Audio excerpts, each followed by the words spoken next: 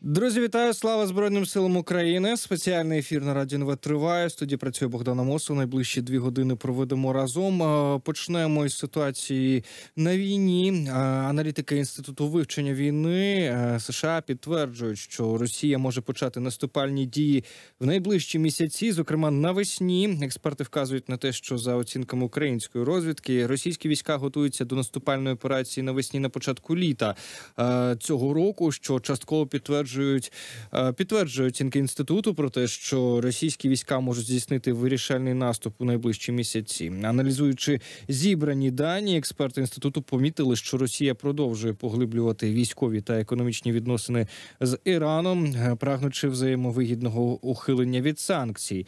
Е, заступник начальника гурмо Вадим Скібіцький заявив, що наразі зарано говорити про повний перелом у війні на користь України, але ситуація буде змінюватися. І цей рік стане роком української перемоги. Е, в інтерв'ю Укрінформу він також заявив, що нині Росія проводить потужну інформаційну кампанію проти України, щоб розтягувати українські сили та лякати населення.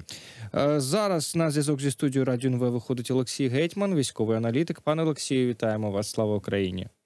Героям слава доброго дня. Пане Олексію, я от звернув увагу на те, що оцінки нового масштабного наступу Росії дещо змінилися. Якщо раніше від розвідки та експертів ми чули про лютий березень, то зараз часто озвучуються прогнози саме е, на весну літу. А з чим це пов'язані такі зміни, як ви вважаєте?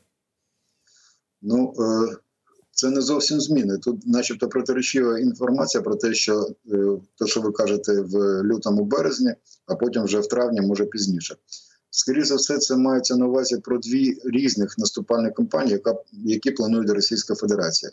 Справа в тому, що президент Російської Федерації Путін віддав наказ е, звільнити, як він сказав, а насправді захопити Донецьку Луганську область до 1 березня цього року. Тому правду правильно кажуть, що скоріш за все е, в лютому, наприкінці січня, в лютому, на річницю якраз повномасштабного вторгнення, вони спробують зробити якісь наступальні дії для того, щоб вийти на кордони Донецької та Луганської області. Але поки що них продовжується мобілізація. Вони готують е, велику кількість людей, намагаються по всьому світу розшукати якусь ну не якусь а зброю. І от е, десь наприкінці літа, е, літа весни на травень, десь вони вже зможуть з цих мобілізованих людей сформувати якісь військові підрозділи, бо просто кількість людей це ж нічого не, не означає. Треба їх озброїти, треба їх одягнути, треба надати їм техніку. І от якраз тут правильно кажуть, що на травень місяць, на початок літа. Вони вже будуть здатні сформувати з цих мобілізованих людей якісь військові підрозділи, полки чи дивізії, чи що вони там планують. Ну це вже їхня справа.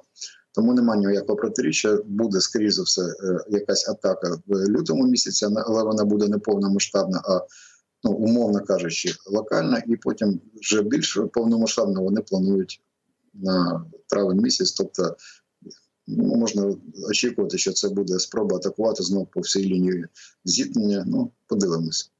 Е, ще також в розвідці вказують. Е, ну от, зокрема, е, пан Скібіцький про це говорить, що багато росій, саме російських аналітиків, які зараз працюють за кордоном, кажуть про 220 тисячне угруповання на території Білорусі. А зовсім нещодавно говорили, що там розгорнуто 150 тисяч. Насправді їх там нема.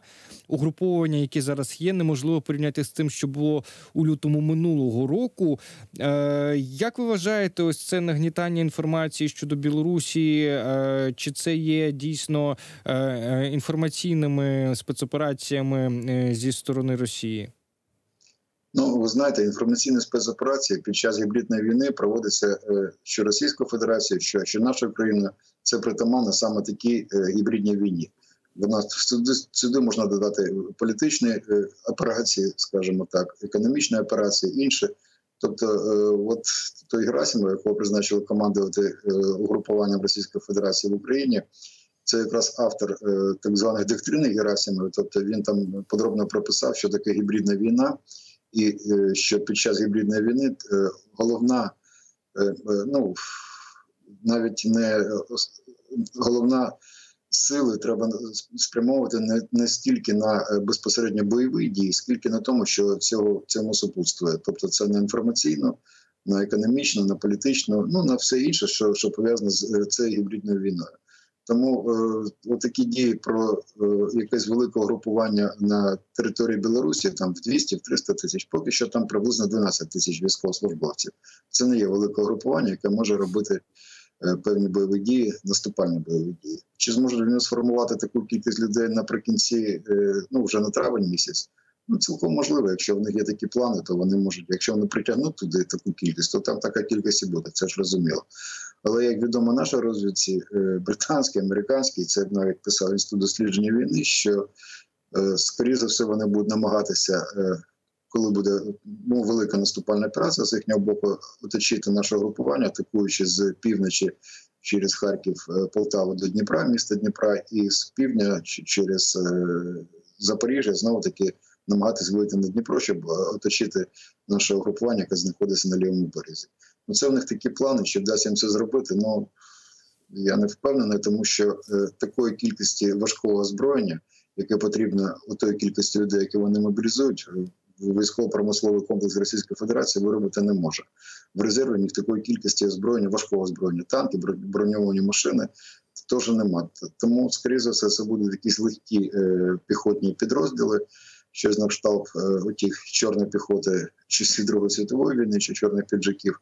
Що вони будуть робити, як вони будуть наступати? Ну важко сказати. В них немає не ті, не тільки важкої зброї, в них немає однострія, щоб забезпечити цих людей. Нема певної кількості бронежилетів та касок, тому от вони в Китаї намагаються щось закупити. Тому подивимось, як вони ну вони готуються. І Герасимов відрізняється від Суровікіна. Це людина більш системна. Е, і можна очікувати, що вони щось щось можуть щось можуть приготувати нам. Але ми теж готуємося, і ми очікуємо поставку озброєння від наших партнерів. І коли воно буде в повному обсязі, то ми будемо змозі не тільки давати відсіч, а й контрнаступати. Е, чи може так статися, що вони е, будуть намагатися використовувати ту саму тактику, як е, під Бахмутом, просто завалювання хвилями гарматним м'ясом і спробою отак, от про протискатися? Цілком можливо, але це це робилось військовослужбовцем і це робилось Пригожиним. Тобто в них трошечки інше бачення війни.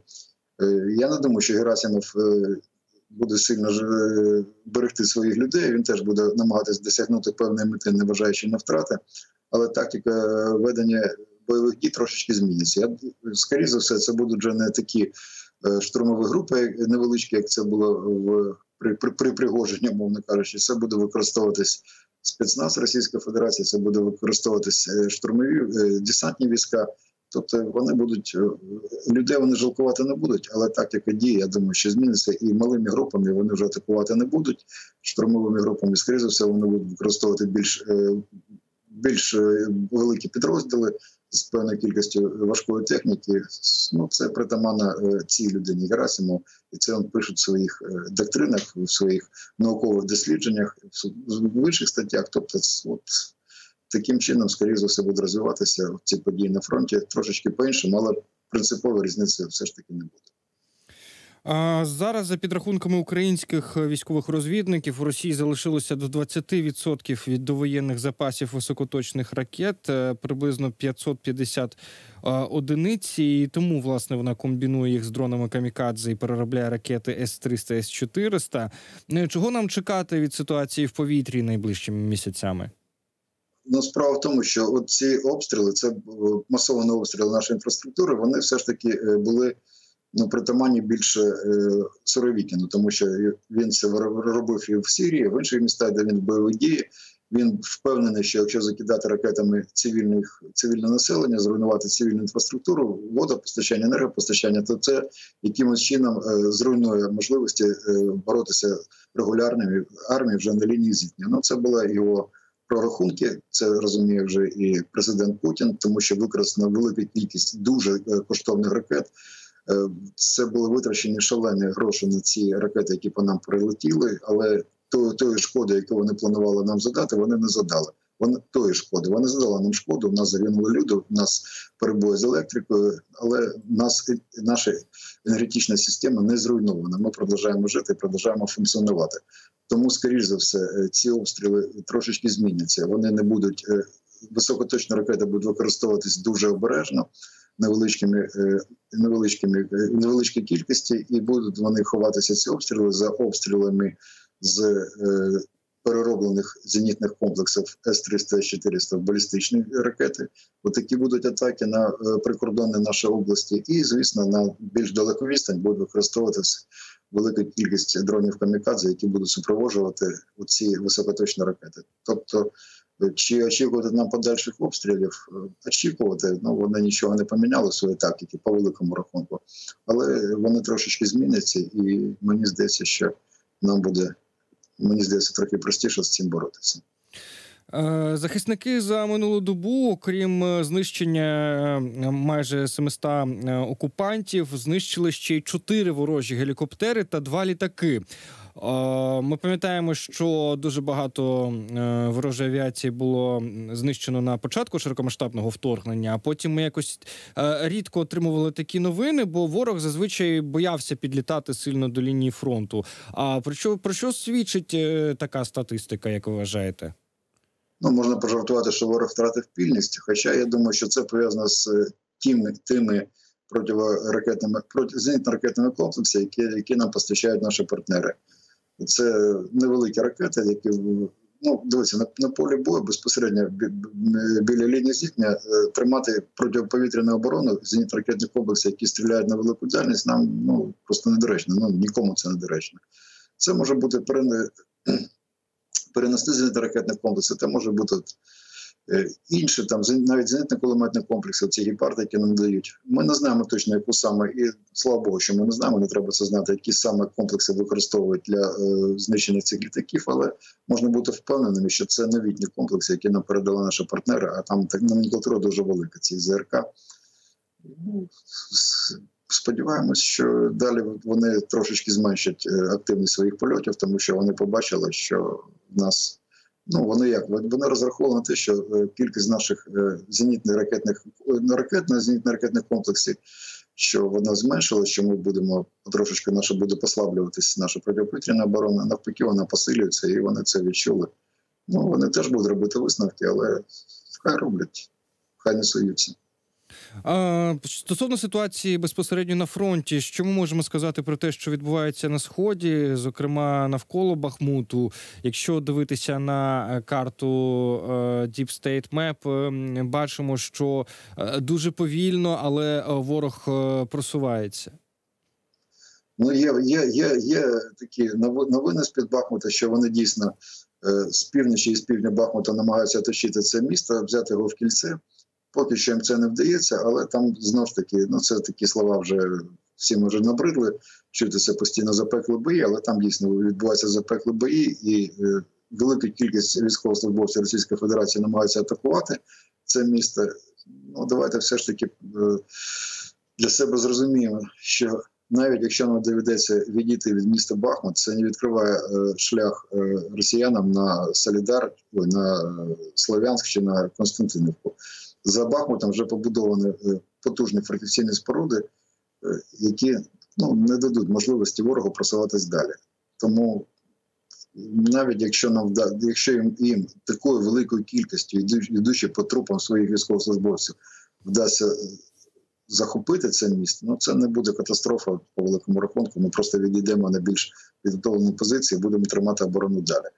Е, Всі ж вже багато раз- разів чули, що великого стратегічного значення, як Солідар, так і Бахмут, військового значення, вони не мають. Вони мають політичне значення, але тільки для керівництва Російської Федерації, щоб показати хоч якісь успіхи. Тому вони будуть продовжувати класти велику кількість людей для того, щоб е, ну, намагатися захопити це місце. Вдасться їм чи ні, поки їм 5 місяців це не вдавалося. Ну, вони там поклали десятки вже тисяч, тільки там, тільки там десятки тисяч військовослужбовців і будуть це робити надалі. Ну, вдасться чи не вдасться. Ще раз, якщо навіть і вдасться, якщо ми приймемо рішення, що треба відійти, щоб зберегти життя наших військовослужбовців, то це не буде ну взагалі ніякою катастрофою на полі бою. Ми просто станемо на більш підготовлені позиції між Слов'янським і е, Бахмутом і будемо тримати оборону там. Так що нічого такого страшного не відбувається, хоча ще раз бої там йдуть важкі. У силах оборони Таврійського напрямку повідомляють, що лінія зіткнення на Запоріжжі залишається без змін. Бачили, як е, російські окупанти напередодні щось волали про якийсь там наступ у бік Запоріжжя. По факту там е, кілька бойових машин, наскільки ми розуміємо, їздило туди-сюди е, і отримало свого. Що відбувається зараз там на запорізькому напрямку? Як себе поводять окупанти? Ну е, вони ще е, наприкінці минулого року вони починали якісь е, наступальні дії біля Запоріжжя. Ну вони перевіряли, яка наскільки там потужна наша оборона. Вони хотіли подивитися, з якими там побудували фракційні споруди. Ну взагалі як там що відбувається. Там було скупчення ну, відносно велике скупчення російських військ. Вони пробували атакувати, але ці атаки були відбиті. Зараз я думаю, що вони е, навряд чи там планують якісь, от прямо зараз, якісь е, е, великі наступальні дії. Це ну, у них не вистачає ресурсу та людей, щоб робити крізь наступальні дії. Тому це може правильно сказати, може декілька бронемашин просто поїздити для того, щоб тримати в напрузі нашу оборону і вже наші збройні сили. Але на сьогоднішній день знов таки можна можна стверджувати, що на сьогоднішній день там можливості для якогось потужного наступу з півдня Запоріжжя Запоріжжя немає. Але ще раз треба пам'ятати, що вони можуть перегрупуватися за декілька днів, навіть може годин, і тоді можна казати, що якщо вони там перегрупуються і спробують атакувати, то дійсно там буде теж важкі бої. А поки що це так. Це ну не можна це не дрібничка, бої це не дрібничка. Обстріли війна це не дрібничка, але з точки зору е, загальної лінії фронту це бої локального значення. Е, стосовно Луганщини у генштабі помітили, що протягом 10 днів е, в окремих населених е, пунктах Луганської області відзначається зменшення кількості особового складу противника, і стало практикою, що на передній край здебільшого відправляють мобілізовані мобілізованих російських військовослужбовців у той час, коли професійні військові намагаються а, усіма способами а, залишитися у тилу. Як ви вважаєте, з чим це пов'язано? Ну, професійні військовослужбовці розуміють, що е, е, атакувати, отак, от як вони атакують в лоб, просто по полю бігти з з, з автоматами та кулеметами. Ну, на наративах такої другої, навіть першої світової війни, це це недоречно, це не та війна, і це люди просто йдуть на обой. Тому вони розуміючи це, люди з досвідом, там теж люди з бойовим досвідом, вони намагаються які якось е, чи залякати, чи змотивувати людей, які тільки що призвані, щоб вони йшли вперед, і просто дивляться таким чином, де знаходяться наші вогневі позиції. Потім намагаються, коли побачили, де в цей час знаходяться наші вогневі точки, туди спрямувати артилерійський чи мінометний вогонь. А тих людей, які послали вперед, ну можна це назвати таким умовно розвідка боєм, але це людей послали на бой для того, щоб перевірити де знаходяться наші вогневі позиції. Там вже ж кажуть, що навіть е, ті люди свіжо мобілізовані, вони багато хто не має навіть бронежилетів та касок, ну, тому що вони не хочуть витрачати цей, матеріал на цих людей, які ну, яких будуть посилати на бой. Там випадки, що навіть зброї у деяких деяких людей немає. Тому ну, це я думаю, що все ж таки е, там навряд чи є якась мотивація е, в, з боку людей з бойовим досвідом для людей свіжо мобілізованих. Скоріше за все, це залякування. Це може може бути там навіть загранотряди, бо відносини в російській армії відрізняються від нашої армії. В них там досі є дідовщина, чого нема давно вже ну, давно вже немає в українській армії.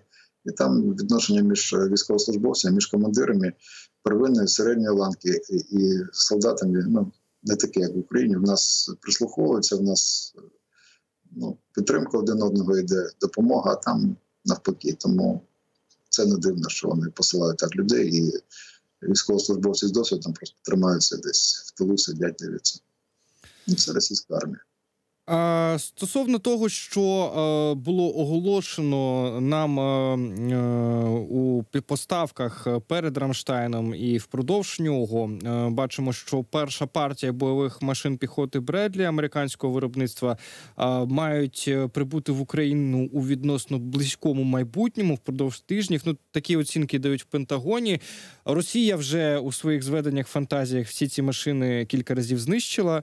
Знаємо, як вони це все заявляють заявляють. Але е, загалом, що ми розуміємо про ту зброю і про ту техніку, які нам надійдуть після е, Рамштайну, і як вони можуть вплинути на хід подій на фронті? Ну, звісно, будь-яка техніка, яка поступає на озброєння, вона буде позитивно впливати на е, хід війни ну, з, нашого, з нашої сторони. Але все ж таки ну, дуже такі сумніви, великі розчарування в- за того, що ми не отримали е, дозвіл Німеччини на постачання, ну як самої Німеччини, так і партнерами, які мають озброєні ці леопарди. Ну, поки що не, не було не прийнято, не, не було прийнято рішення про постачання нам цілої зброї. Те, що нам пообіцяла Польща, там одна рота е, танків, те, що нам пообіцяла Британія, теж там 10-12 Challenger 2, це не ну, ці дві роти танкових, вони нічого не змінять на лінії фронту. Вони ну це як перша ластівка, можна розглядати, що вони є, що ми їх опановуємо, що ми дивимося, де як їх можна правильно використовувати. Але нам все ж таки потрібно не 20-30, а 200-300, а і краще більше танків, тому що безпосередньо на бронемашинах і на е, іншій броньованій техніці ну, робити наступ неможливо. Наступ роблять е, танки, а ці всі бронемашини та інші засоби їх супроводжують е, разом з військовослужбовцями, як то кажуть, разом з піхотою. Просто бронемашинами атакувати на БМП, робити наступ, ну це якісь дивні речі. Такого ну ще, ще такого ще ніхто не чув, що це якась е, маячня. Тому ці зброї можна може бути використана поки що для оборони. А коли вже будуть сподіваюся, що це рішення все ж таки буде прийнято. Ми отримаємо відповідну кількість танків. Тоді можна казати, що ми будемо наступати. Поки що без цих танків планувати якийсь потужний наступ. Я думаю, що ну навряд чи нам вдасться. Хоча ми робили наступи під Харковом і під Херсоном, не використовуючи ці саме танки Леопарди. Ну, якщо буде далі гримувати, тоді нехай наш генеральний штаб, пан Залужний, будемо думати, як це робити без навіть такої техніки, використовуючи те, що є. Ну а те, що передали велику кількість іншої техніки, ну це добре, посилить наші збройні сили. Але ще раз без танків нам буде вкрай важко робити якісь наступальні дії. А, ну, в нашому МЗС позитивно і оптимістично дивляться все ж таки на перспективи. Будемо сподіватися, що е, це не безпідставно. А, ще е, ми будемо мати в лютому один Рамштайн. Е, як вважаєте, чому от е, так швидко і що очікувати нам від нього? Ну е, його вже е, охрестили, як то кажуть, охрестили ці лютневі 9 Рамштайн, як Рамштайн е, повітряних сил. Е, Тобто на цьому Рамштайні, скоріше за все, буде вирішувати питання постачання нам літаків. Ну, розмова йде про ці ж саме F-15 і F-16. Може бути, може буде про штурмову авіацію, оці штурмовики, бородавочники, так звані А-10А.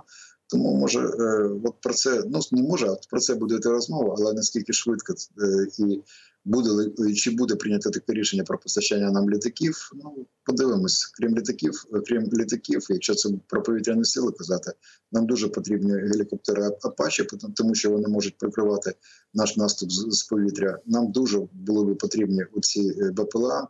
Американські, про які йшла розмова Жемнець і Сіро Орел, які можуть літати на далеку відстань і нести на собі зброю. Це не е, дрони камікадзе, це теж потужна зброя, в тому числі для розвідки, для атаки в території Російської Федерації, де ми маємо руйнувати ті місця, з яких атакують нас, тобто літовище та інше пункт, пункти збереження боєприпасів, пункти керування. Ну і може на тому ж лютневому Рамштайні вже буде остаточно прийнято рішення. Ну, якщо наш МЗС е, позитивно налаштовано, ну значить вони щось знають. Дай Боже, щоб це було остаточне рішення, не про те, надати нам чи не надати ці танки, а як саме і коли вони вже будуть в Україні, для того, щоб ми могли готуватися для наших наступальних дій.